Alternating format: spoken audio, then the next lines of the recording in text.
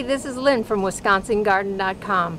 And from time to time, family or friends or sometimes neighbors ask for our opinion on something and how we'd handle it. And we're lucky today to have our daughter Lace, hi, who has asked us about this tree that we have in the background. Now this is the third tree that's been put in this particular spot. The problem is that when they backfilled this area of the, the lot, it was clay. And although at different places around the yard there is clay, this one particularly has mostly clay. And even though um, they've been told that this tree would work here, it obviously is not. So we're making different suggestions after doing some research. We came up with uh, several choices of plant of trees that like and can tolerate clay and moist conditions. Our first choice would be the little leaf linden, which we have and is a lovely tree. The next one would be a river birch. River means it can tolerate the, the water. Also a nice choice. Hackberry has been recommended. And oak willow, which is a member of the oak family, not the willow family, but it has very nice feathery little leaves on it, or bur oak. Those two last ones, of course, would have acorns. So that is a something that you would have to consider if you don't want to be uh, inundated with acorns and then possibly squirrels. So uh, after doing our research, then they will go and look at trees and see what they can come up with. Well, remember when we talked with Dave and Barb in California, and Dave was telling us about all the problems he had planting his avocado with trees? Avocados. It's the right. same thing. It's the same thing. Avocado trees, according to Dave, who is our avocado expert, was told by a farmer of avocado trees that avocados do not like to be wet. They don't like wet feet. They like to be moist but not wet. So you dig a shallow pit for an avocado, you put it in, and then you berm up around the rest of the root ball. And that's what suggested when I was doing my research about this particular location. While you need to have some of the root ball in the hole, a lot of the root ball will be above the, the earth level and you will fill up around it, giving the tree the opportunity to recover from the transplanting because it'll get enough air in the roots. And then when it's recovered and it's strong and healthy, it will send down the tap roots through the clay and it won't be bothered by it. So, So, in other That's words, you don't want your tree sitting in a puddle of water underground. no, it's also important not only moisture, but tree roots have to have air, believe it or not, and can have air if you're sitting in a clay pot. Okay. So, I understand you're also going to be adding some flowers as well? We are. We're doing some transplanting today, and Lace's going to be digging, and and I'll be supervising. Well, let's go take a look at the flowers. Let's do that.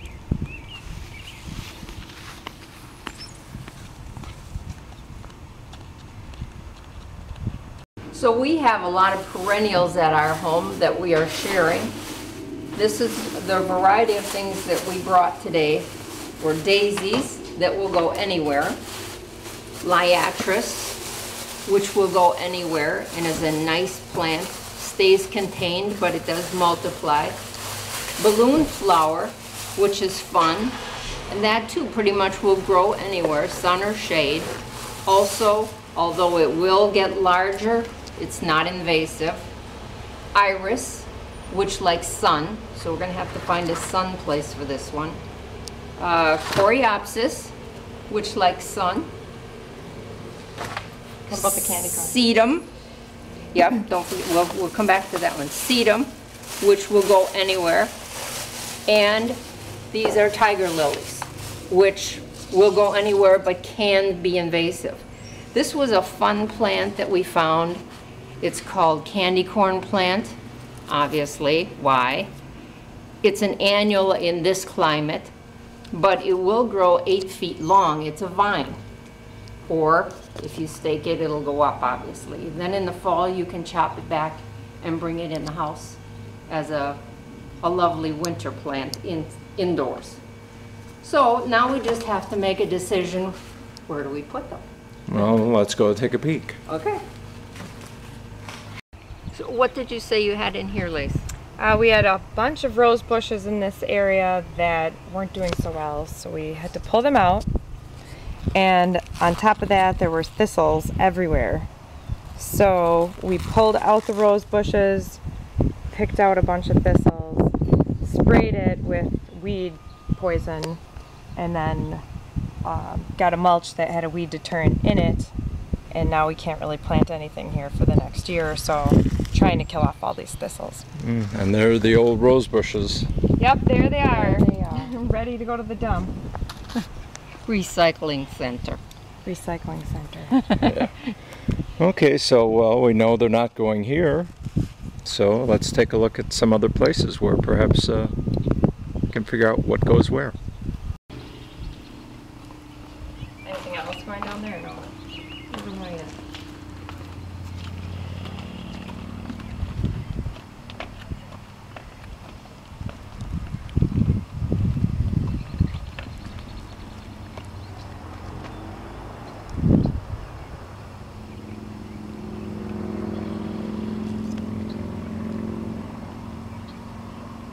No, these are the California poppies. Lovely. It's a, a good year for poppies. You see them everywhere now. Yeah, I don't remember these being here last year. But they don't last long. Obviously. But they do have neat little pods, seed pods on them afterward. Like So- that? Or is this when they're starting? That's when they're starting, and then they'll get these. Over there is one. See with the purple? It looks like a this. little hairdo. Yeah. Mm-hmm. Yep. And those will get hard. Actually, you could save them for a uh, um, bouquet. Oh. Yeah, to put in a, like a dry bouquet. Mm-hmm. I don't know what this is. This is cool though. Ground cool. cover. Mm-hmm. This is a weed, which I bet anything is a mint. No? Look like a mint. Good It's thing you didn't bet. And these are potentillas. So you already had some potentillas. Remember you were asking about those? No, but yes, it probably did. And I was trying to. Th- those are the ones with the yellow flowers on. Yes. But they also have white ones and we have a pink one. Okay, so we're going to be planting the liatris, the balloon flowers, and more liatris up here. But the first thing we're going to do is we're going to push this mulch away. This is the uh, weed-resistant uh, mulch, so we need to push that as far away as possible, dig up those dandelions there, and then make our holes for the liatris. Obviously, some of this we'll be putting back.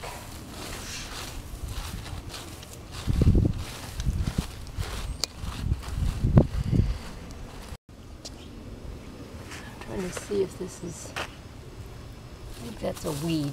So. Looks like a clump of grass. Mm-hmm. Or oats. Either way, let's get rid of it. Okay. So we'll just dig in there and then twist it. There you go. And out it Nice comes. job. Okay. Gonna get this dandelion right away. Oh, and there's another one of these.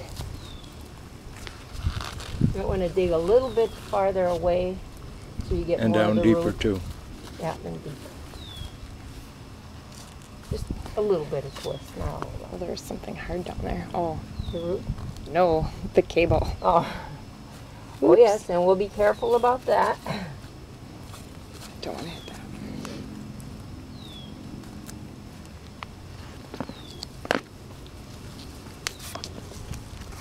I suppose we should make sure that cable isn't under here. Dig gingerly.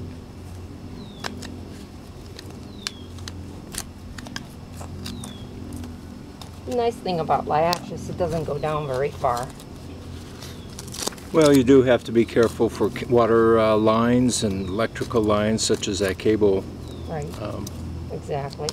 Or sprinkling line. And if you're going to do any major digging, it's always a great idea to call Diggers Hotline and have them come out to your property and they will mark whatever areas you're going to be working on so you know exactly what and where you're what you're going to be dealing with. Exactly. This Don't want to mess with electricity. Yeah, clay. So dig, just dig that up a little bit so it's loose. All right, and then you're just gonna set this in. Now you could, technically, you could divide these, but since we're transplanting them right now into a new place, they'll have plenty of room, so just fill in around them.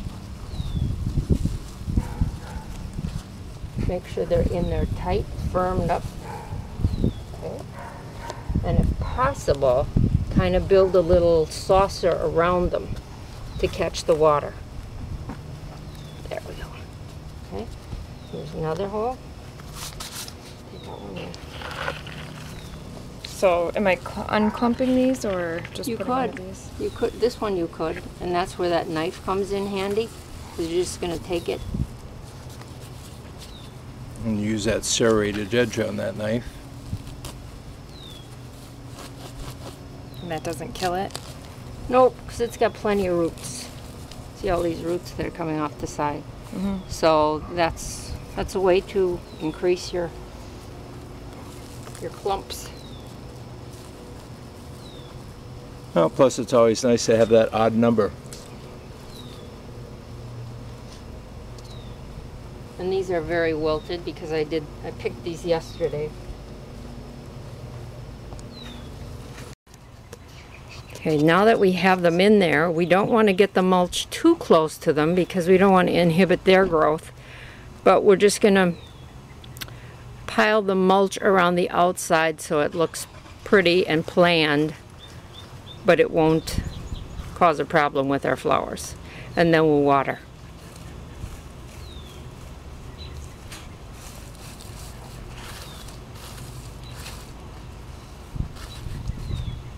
Looking good.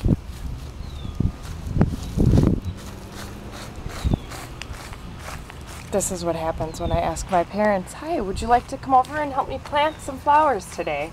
I end up being on their video. Sneaky parents, I am. True, but look at how much you're learning. Right.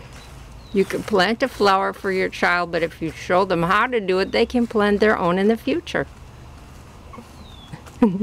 There, how's that? That looks lovely. Thank you. Let's do some more. Okay. These are the balloon flowers, which have a different root system, obviously.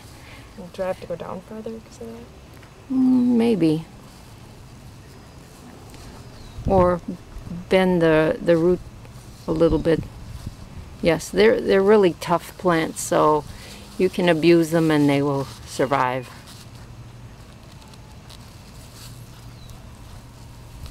But they're not invasive. You don't want that. Looking good.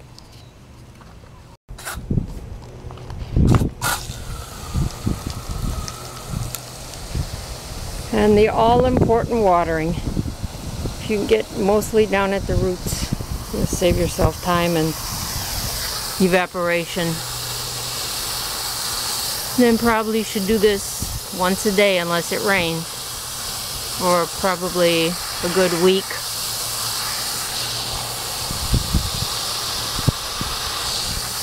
That's good.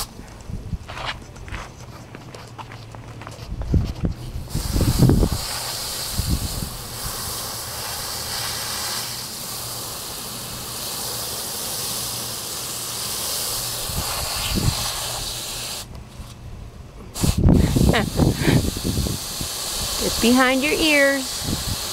Alright. Liatris, I think, is what this is.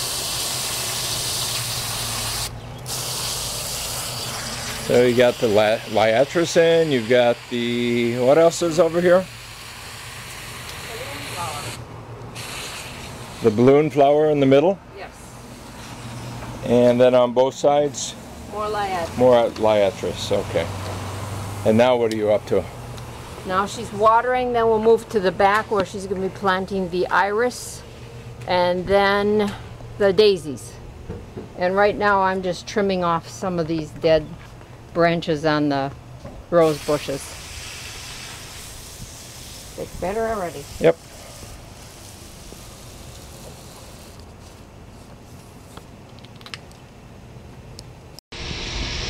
I don't know what I'd do without my tool here. It's a knife, it's a digger, it cuts, but it's great for pulling out weeds. You just get down in there, you twist it, it snaps it off. Usually I get more root than that. But if you don't have some kind of knife like this for your garden, you really need one. It makes it so much more pleasant to work in your garden. I think you have a link for that one. I like mine. It's a little heavier duty, but Right. uh, that's a nice knife too. I It's a think very you got nice a knife. Link for that one if anybody's interested mm-hmm. on your website. I think I do. I do have to make a disclaimer. If you do buy one, we do get a tiny little commission of maybe a couple of pennies or whatever it is from Amazon. But And be careful because it is sharp, yep, especially right here. but that it's a be great little tool. I can't tell you how many times I've used my tool. right. Plus, you can, if you're planting bulbs, it has a, a ruler on it, Depth so you know how deep you're going. Yeah, Okay, back to work now. good. Enough of the commercial. Yes. This is my dad's knife. Obviously a bigger, heftier, a lot heavier. Cool. It's like an egg. Now, do you have any wiring or lighting or watering system back here? I don't think in the garden, but I don't know. But we're being careful. Dig deep, uh, carefully, right? Now, since we're doing irises, ooh, hello, um, they do not like to be buried deeply. They like the tops of their rhizomes to be showing above the, the soil and only having their roots buried. So the hole that you're digging, Lace, doesn't need to be really deep.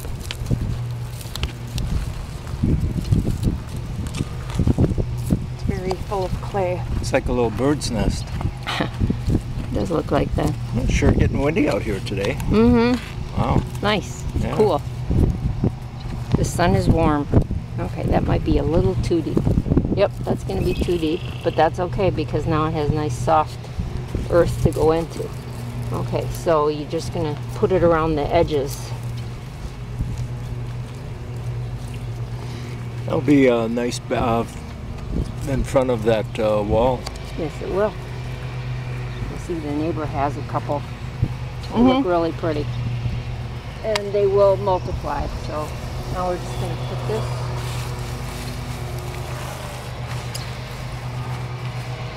Smooth it around. Good.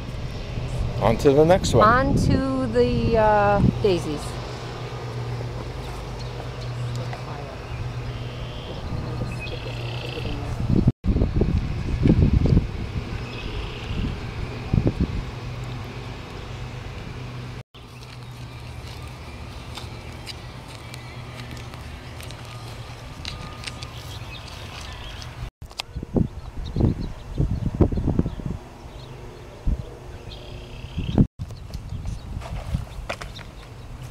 Driving Miss Daisy.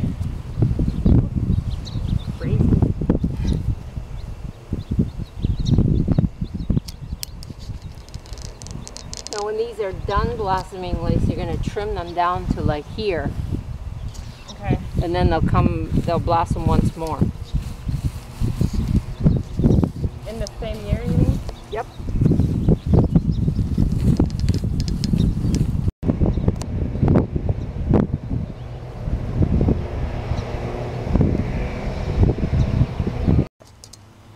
Well, Lace is off watering. I'm planting the last, the last plant, which is the candy corn plant. It needs to be in partial shade and it needs something to climb on. So I thought this post that holds up the porch would be perfect. This is the north side of the house. This is the north side of the pole. So, got my hole dug.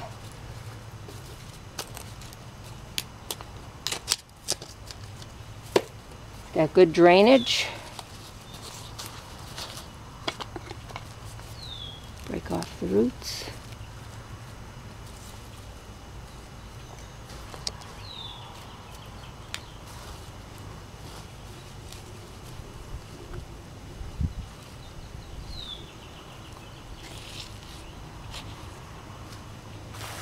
move the mulch up, but not next to.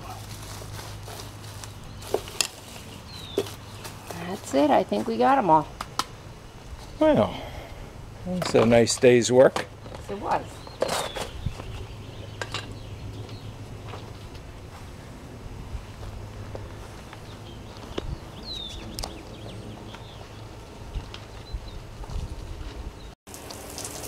Well, that should be it for today. We've got them all in the ground. Lace is finishing the watering. And they should be beautiful. Perfect time of year to transplant.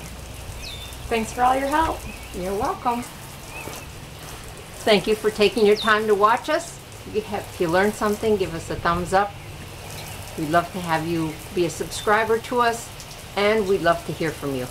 Bye for now. So is the candy corn ready yet? I'm hungry. Not yet.